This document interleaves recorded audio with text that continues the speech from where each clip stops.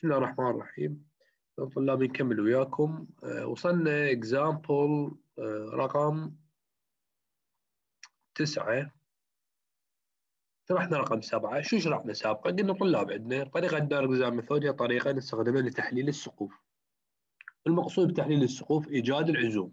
لأن أول خطوة لازم نوجد ال M naught اللي هو ال static moment من نوجده نوجده من هذا القانون المال اللي هو الحمل مضروب في البعد الصافي تربيع في عرض الشريحة على ثمانية هذا الم... الأول خطوة نسويها. الخطوة الثانية قلنا عندي توزيعين. توزيع اسمه longitudinal distribution يكون على طول الشريحة. أوكي؟ عندنا توزيع اسمه التوزيع العرضي اسمه ال lateral distribution. وأذكركم بالتوزيع ال longitudinal ان عندي panel ات panel ات يا أما panel داخلية يا أما شنو؟ يا أما panel خارجية. نذكركم. قلنا ال panel ال panel الداخلية اللي هي ذني هاي ال panel الداخلية. هذا العزم السالب مطلوب وهذا الموجب وهذا السالب. قلنا كل panel بها ثلاث عزوم. اثنين سالبة واحدة موجبة. هذه نصيح لها بالمنتصف panel داخلي قلنا دائما العزم الموجب قيمته 0.35 في ال M naught أول خطوة جدا ال M naught نضرب في 35 زين العزم السالب 0.65 في ال M naught هاي خلصنا من السالب والموجب. اللي بقت على الأطراف قلنا نستخدم بها الجدول هذا. الجدول table هذا حسب نوعية السقف مالتي. بي edge beam بي brick wall بي حاط حاط مال خرسانة إلى آخره. زين. وراه من نجي على التوزيع العرضي. التوزيع العرضي. قلنا يعني التوزيع العرضي يريد العزم. يعني كل وحدة من ذني لازم أوزعها إلى column strip والى middle strip قلنا وعندي ثلاث table ات تخص ال column ال strip اثنين سالبه واحد موجب. طلعنا هذه شو محاضرة. زين. صار راح نأخذ مثال مهم ونطبق به هاي الفكرة. طبعا example رقم ثمانية هذا عليكم ما أبي شيء. هذا على المحاضرات الأولى اللي هو ما أبي لا edge beam ولا كل شيء. هذا flat plate نجي على السؤال اللي شوية اللي خلينا نقول أصعب بس هو مو صعب إن شاء الله. هو example رقم 10 example رقم 10 شو يقول هذا؟ يقول عندك شريحة هو قال عندك شريحة بالسؤال. هذه الشريحة باتجاه ال Y اللي هي الشريحة المرسومة عندكم. قال لك السقف مالتك هذا إيش بي؟ بي إيج بي. يعني من يقول لك إيج بي؟ يعني تعرف شكل الإيج بي حرف على شكل L يعني شنو يعني؟ يعني عندك بيتا بالسؤال. يقول لك إيج بي. أوكي؟ زين. يقول لك استغل بطريقة direct design method أول مطلب يريد التوزيع الطولي okay. ثاني مطلب شو يريد؟ يريد التوزيع العرضي. المقصود بالعرضي انه يعني ال column strip وال middle strip إلمن لل panel داخلية. المطلب الثالث اللي هي هاي ال panel الداخليه هذه. هاي ال panel الداخليه المطلب الثالث هم يريد وال middle strip بس المن لل panel الخارجية. بس معوني خلينا نقرأ طبيعة السؤال. هو قد يوضحها وقد ما يوضحها. شو يقول لك؟ بس ركزوا يقول لك أريد ال lateral distribution of moment at interior panel خال لك بين قوسين شارح لك. قال لك يعني أريد ال column وال middle strip العزوم الموجبة والسالبة. ترى كلمة طلاب ترى كلمة ال lateral distribution هذه ترجمتها اللي هي هاي بين الأقواس اللي هي ال column وال middle strip العزوم السالبه بس هو قد ما ما يكون ما, يكون مجبور يكتب لك ذني بين القوسين. قد يقول لك بس أريد ال lateral distribution of moment at interior panel ويسكت هنا يعني؟ يعني يريد العزوم السالبة والموجبة بال column strip وبال middle strip هذا يقصد به نجي أول فقرة. أول فقرة نحسب الأمنوت. نحسب الأمنوت. ما بين شيء عرض الشريحه عندك هذا يعني عرض الشريحه خمسة بخمسة منها عندك خمسة متر. آه ال إن البعد الصافي هذا ستة آلاف. ستة آلاف. اطرح منه عرض الكولوم. عرض الكولوم زين 500 ناقصا 500 حوله إلى متر. ما يطلع لك خمسة ونص. متر.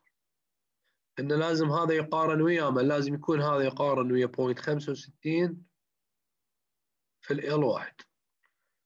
أنا حاسب أنا 0.65 في ال واحد وهذا ال إن طلع لك هذا الأكبر. ال واحد وهذا طلع لك ال 2 تجي تعوضه تعويض مباشر يطلع لك نوت هذا طلع لك منو؟ الام نوت زين انت شو عندك عزوم؟ عندك هنا سالب هنا موجب هنا سالب هنا سالب هنا موجب وهنا سالب. هاي الشريحة نفس الفوق ال panel هاي سالب وهذا موجب وهذا سالب. قلنا هذا العزم الموجب قيمته 0.35 في ال M note ما له علاقة بنوعية السقف. كان solid كان flat plate كان flat slab ال panel الداخلية ما لها علاقة. 0.35 في ال M note ال panel العزم السالب هذا 0.65 في ال M okay ها خلصنا من ال panel الداخلية. زين. الخارجيه تروح لل table مالتك. ال table مالتك شو راح تختار؟ راح تختار أكيد with edge beam اختار أنا with edge beam العزم السالب الداخلي 0.7 0.7 العزم الموجب 0.5 ال factor مالته العزم السالب الخارجي 0.3 تضربه في ال M note يطلع لك هذا التوزيع اللوكتودينال زين. هسه خلصنا من التوزيع اللوكتودينال إن شاء الله هذا ما ابي شيء إذا عندكم شيء اكتبوا لي شيء على التوزيع اللوكتودينال نجي على التوزيع اللاترال هذا البانل انتيرير هاي انتيرير بانل هاي سعوده هاي شو سعوده هاي سعوده اكستيرير بانل اول شيء يريد الكل بانل الانتيرير والاكستيرير يريد لها الكولوم سترب والميدل سترب العزوم السالبه والموجبه المطلب الثاني هو يخص ال panel الداخليه ال panel الداخليه بهذا العزم وبهذا العزم هذا نفسه السالب فهذا الموجب وهذا السالب يريد لها ال column strip وال middle strip مالته okay زين شو السبب؟ هسه جاي عليه عزم جاي على العزم الموجب هذا هذا يعني خلينا نقول هذا ال 105 هو مقداره. point 8 7 5 وش ينقسم طلاب؟ ينقسم إلى عزم. column strip وينقسم إلى عزم شنو؟ middle strip. زين. إحنا عندنا هذا معلوم هذا العزم معلوم. زين يبقى لي لازم استخرج قلنا دائما إحنا نستخرج راح نستخرج مال column strip راح نستخرج. ومن نعلن نطرحه بالكلي؟ نستخرج منه منه ال middle strip زين. ال column strip شلون نستخرجه؟ قلنا راح نجيب ال column strip راح نجيب فد factor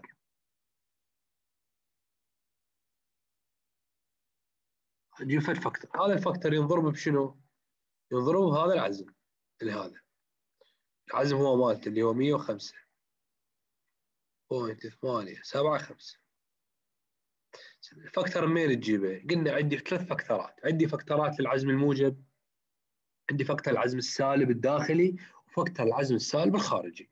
بما أنا جاي أتعامل ويا عزم موجب اللي هو مقداره 105 راح أروح على ال table هذا.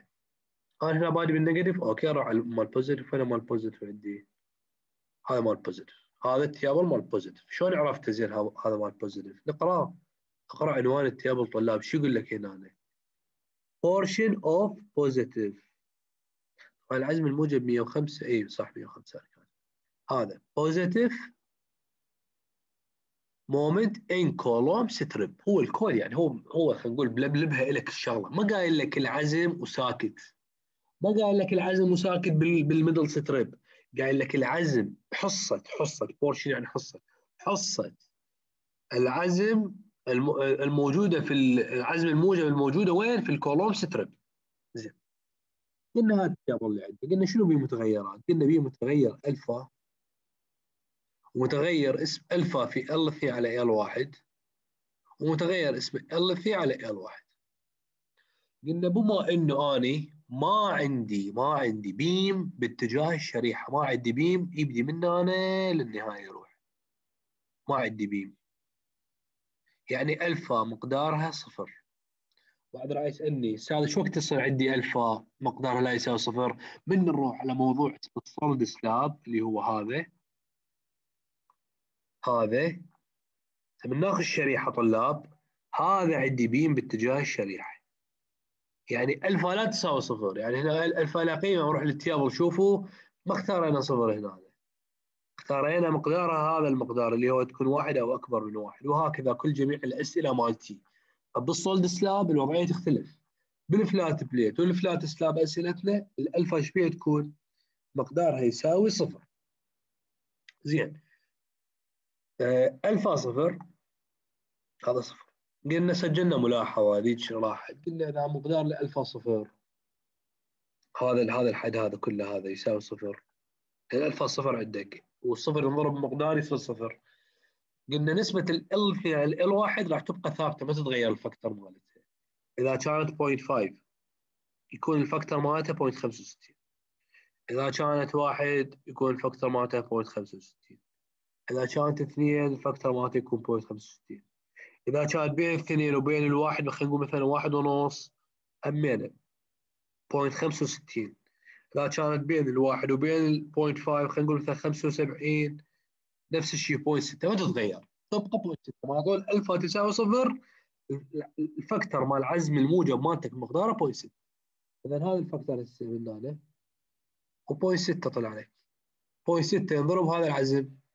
يطلع لك ال column strip زين إذا نعلم ال column strip شلون راح أطلع middle strip؟ أطرحها من ال 105 يطلع لي middle strip شوفوها. هذا 0.6 اللي هو ال factor. مضروب بالعزم طلع لك هذا العزم مال column strip. تطرح العزم هذا من عزم ال column strip. يطلع لك منو؟ يطلع لك عزم ال middle strip. okay؟ زين هذا هو يخص العزم الموجب. لو جيت على العزم السالب اللي هو هذا هذا هاي نقسمه إلى column strip ولا middle strip؟ okay؟ نفس الفكرة. بس هالمرة راح أروح على table يخص العزم السالب.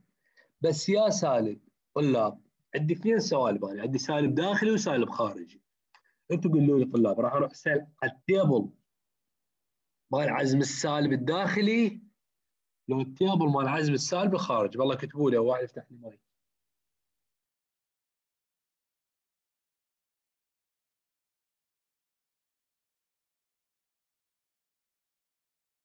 table مال العزم السالب الخارجي.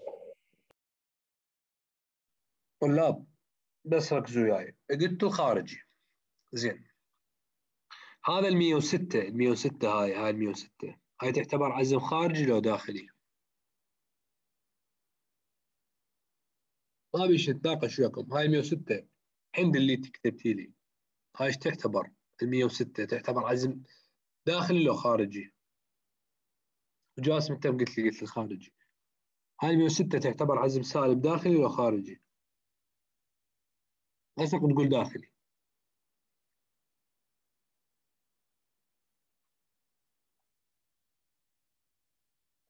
ها طلاب.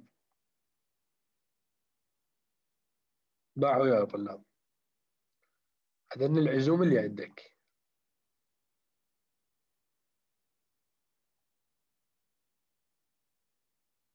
اي أستاذ داخلي موجب بدي احكي على الموجب. بدي احكي على الهند على هذا السالب على هذا.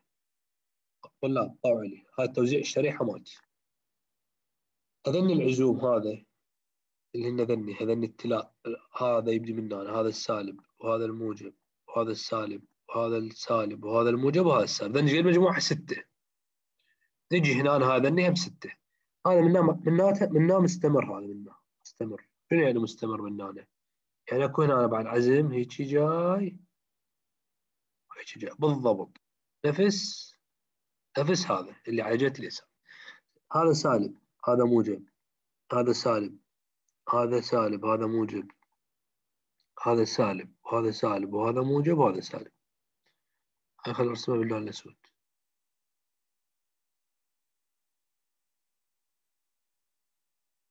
أوكي؟ طلاب العزم الموجب هو اسمه عزم موجب سواء هذا أو هذا أو هذا. هذا شو اسمه؟ اسمه positive moment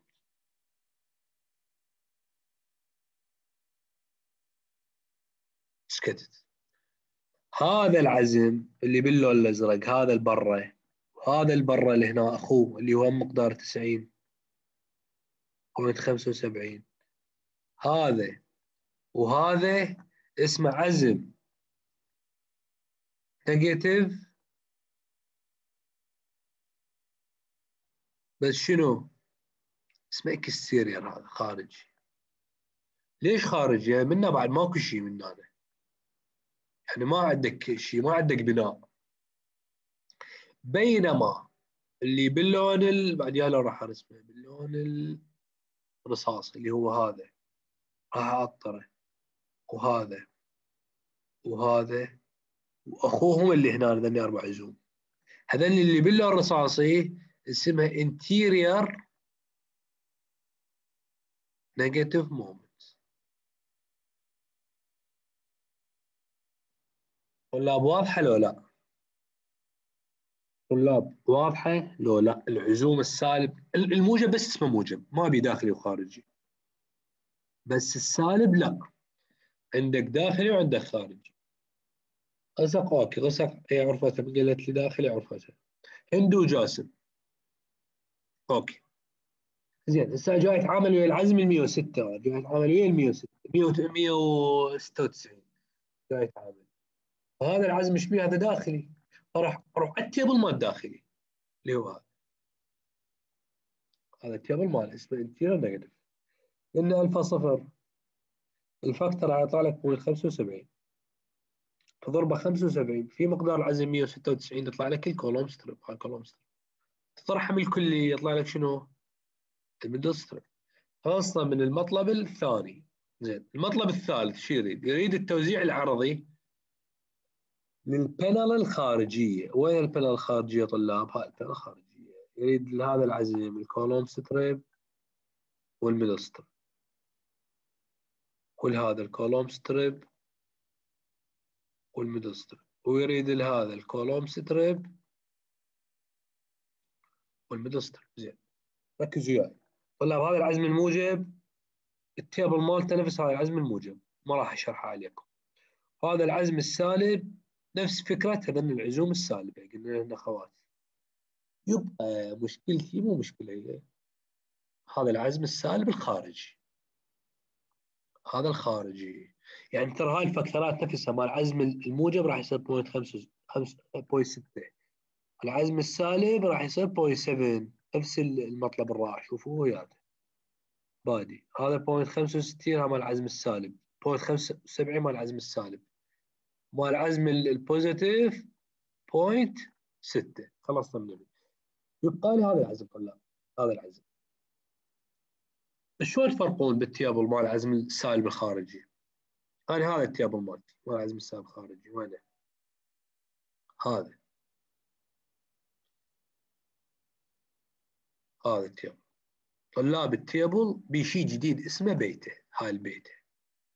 ال beta beta t موجودة بس بال table مال العزم السالب الخارجي موجودة. بس بس هنا موجودة.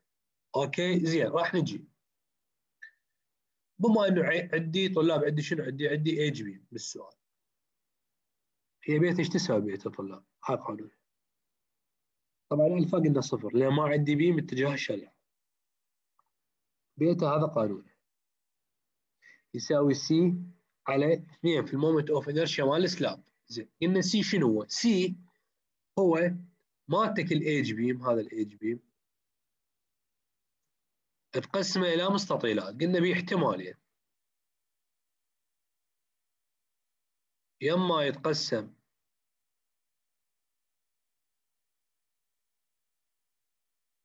يا اما نقدر نقسمه بهالشكل.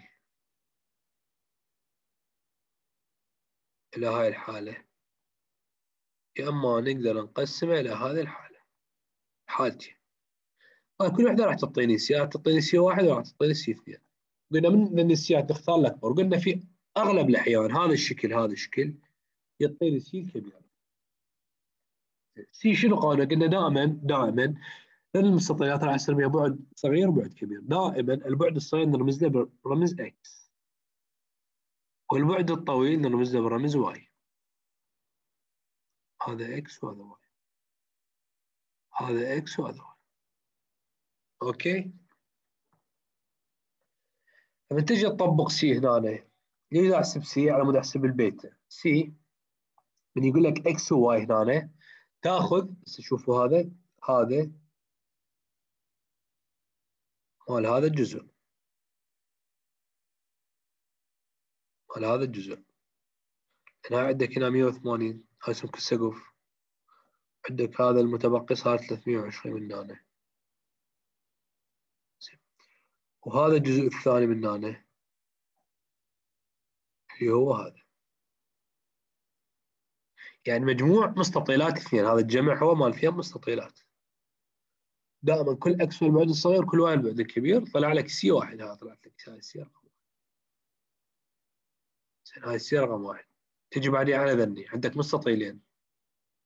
نفس الشيء هذا المستطيلين شوف هذا. هذا الأول وهذا الثاني. أبو ال 250 هذا مال ذني شو عرفت هذا؟ البعد الصغير 250 X شوفوا هاي 250 هنا X وال Y مالتها قد 300 320 اللي هي 320 بينما هذا المربع ال X هي 180 اللي هي هاي. وال Y مالتها اللي هو 570 570 okay طلعت لك C الثاني هاي. منو أكبر من ذني الاثنين ال C ات؟ طلعت لك هاي ال C هي أكبر. C رقم واحد. زين نعلم ال C لازم نحسب ال moment of inertia بعد. ونضربه في اثنين عمود ونقسم C على ال moment of inertia في اثنين نحسب البيتا. زين.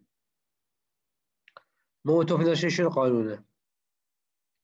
L اثنين اللي center to center في سمك السقف تكعيب على 12 الاتش هنا طلاب مو سمك ال beam انت جاي تتعامل ويا ال moment of inertia جاي تتعامل مع ال slab. فأكيد هاي h slab. okay؟ سمك السقف إيش قد 180 شو عرفت 180 طبعا أكيد عن طريق السؤال. ما قال لك بالسؤال slab thickness مقدارة 180 center center center من الأعمدة إيش قد؟ أو عرض الشريحة إيش قد هو؟ 5000 اجيت عوض 5000 على 12 طلع كلمة اوف انرجيا ارجع اعوض بقانون البيتا هذا. قانون لا تنسى الثنين طلع لك البيتا تجي طلعت لك. point أربعة أربعة تسعة خمسة. قلنا طلاب شرحت لكم ذيك المحاضرة طريقة. شلون نحسب ال factor مع العزم السالب الخارجي. وقلنا طريقة اسمها interpolation راح أعلمك الطريقتين هذه. بس. راح أعيد الطريقة ذيك شرحت ذيك المحاضرة شو ذيك المحاضرة شرحت الطريقة إن أنا عندي هاي المعادلة تقدر تستخدمها. راح تعرفون المعادلة بالنسبة لكم أسهل. هاي المعادلة. إن بما إنه ألفا تساوي صفر. ليش؟ لأن ما عندي بيم باتجاه الشريحة. فهذا الحد اللي ينضرب ألفا في الصفر هذا كله يروح. هذا كله راح. المعادلة إيش ظلت المعادلة هذا؟ الكوفيشنت اللي هو يكون نسبة مئوية مع العزم السالب الخارجي 100 ناقص 10 بيتا تي هذا القانون صار. زين. بيتا تي وأنا آه، جو طلعت هذا. أوكي؟ ف 100 أنا هنستخدم الكالكوليتر وهنطلع ده ما أعرف وين هي. نشوف ال calculator عندنا هنا. أنا. scientific calculator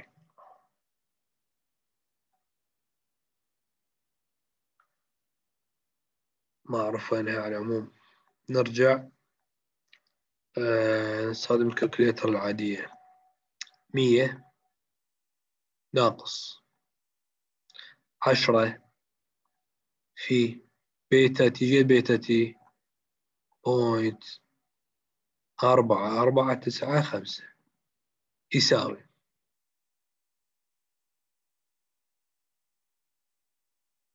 شنو طلع لي شو هذا؟ هاي الحاسبة point تسعة. هاي الحاسبة مو scientific غلط هاي.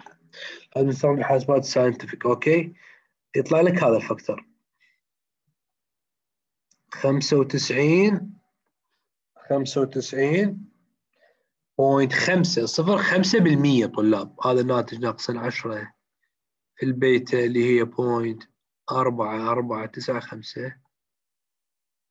راح يطلع لك تسعة. صفر خمسة صفر خمسة بالمية. شنو بالمية؟ قسم على مية. يعني point تسعة خمسة خمسة صفر خمسة. هذا طلع لك ال factor اللي هو هذا. تضربه في مقدار العزم السالب اللي هو هذا.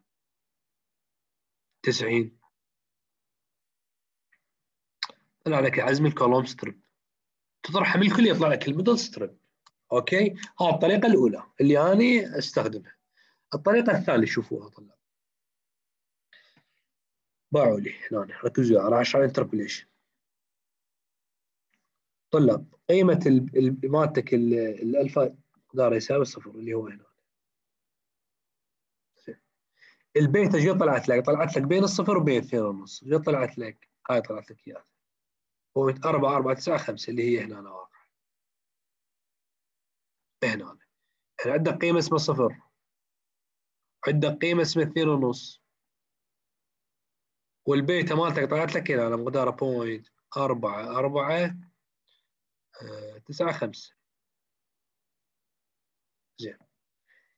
شو تسوي أنت؟ تأخذ ذني ال factorات. هاي. أنت ضمن هذا الحد واقع. عندك هذا الخط الفاصل بيناتهم. وعندك انت مالتك البيتا هنا بالنص. مو بالنص هي بالضبط. يعني صايرة قريب الصفر. طيب. الفاكتر من إذا البيتا صفر قد مقدار الفاكتر هو واحد. ما له علاقة بالنسبة مال الثي على الواحد فهذا المقدار جد مقداره واحد. واحد. زين. بالاثنين ونص إيش قد مقدار هاي؟ 0.75 0.75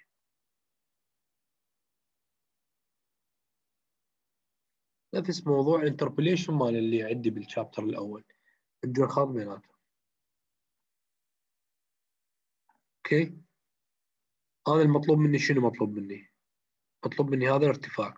هذا لازم أوجده اسمه x واضيفه لل point 75 هاي يطلع لي هذا الارتفاع الكلي اللي هو يبدي من هنا لهنا. شو يدل هذا اللي باللون الأزرق؟ يدل ال factor. ال factor مالتي عندما بيتا تساوي جيد تساوي point أربعة أربعة تسعة خمسة. شوف هنا مسوي يعني عندما بيتا تساوي صفر factor واحد. عندما بيتا تساوي اثنين ونص ال factor point خمسة وسبعين. وانت مالتك القيمة هاي point أربعة أربعة تسعة خمسة. هذا ارتفاع x مجهول. شلون أوجد x؟ راح أسوي تشابه مثلثات بين. بهلي هذا الارتفاع الكلي هذا الارتفاع هذا الارتفاع هذا. هذا هو واحد ناقصا point 75 ليش؟ هذه القيمة من هنا عندك جيل مقدارها 75 والواحد هو من البداية اللي جوا. أنا أريد بس اللي اللي باللون الأزرق هذا. اللي باللون الأزرق هو واحد ناقص بوينت 75 أنا لك هذا ارتفاع. على هذه القاعدة اللي هي من هنا لهنا. من هنا القاعده إيش تساوي لك؟ 2 ونص ناقص صفر. okay؟ 2 ونص ناقص صفر. طلعت لك. طلع طلع لك. هذا المثلث اللي هو واحد. على القاعدة مالته اللي هي 2 ونص. المثلث الأول. المثلث الثاني اللي هو هذا. اللي يصير بداخله. قد ارتفاعه x اللي هو هذا x على. المسافة من هنا لهنا. شو يساوي لك؟ اثنين ونص ناقص point أربعة أربعة تسعة خمسة. شوف اثنين ونص ناقص point أربعة أربعة تسعة خمسة. طلعت لك قيمة x هذا طلعت قيمة x اللي هي هذه. أنا إذا ارتفاع الكل يا طلاب. ركزوا وياي. شو ارتفاع الكلي؟ أنا هاي x انعلمت. أنا ما أريد x أريد أني من بدايتها اللي جوا هذا ارتفاع الكلي. اللي هو خلينا راح أسميه ال factor. هذا ال factor. فال factor مالتي شو يساوي؟ راح يساوي لي قيمة x زائدا هذا الجزء. اللي هو نفسه هذا. اللي هو مقداره إيه؟ 0.75 علما بقيمة x. زائد 0.75 طلع لي هذا الفاكتور مال عزم السالب الخارجي. قد مقداره؟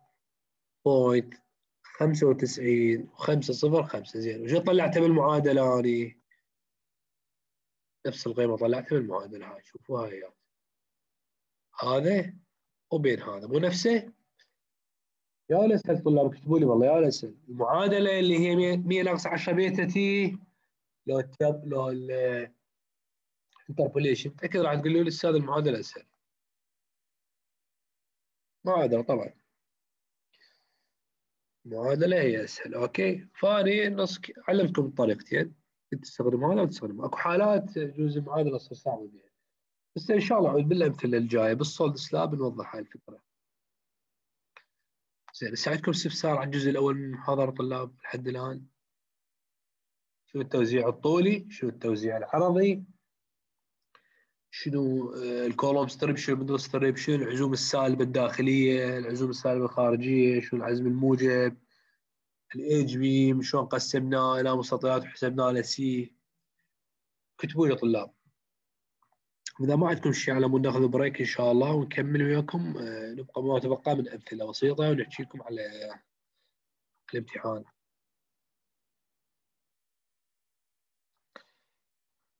أوكي طلاب إذا واضحه راح أنهي محاضرتي إن شاء الله بس شو اللي يبقى لنا عندنا؟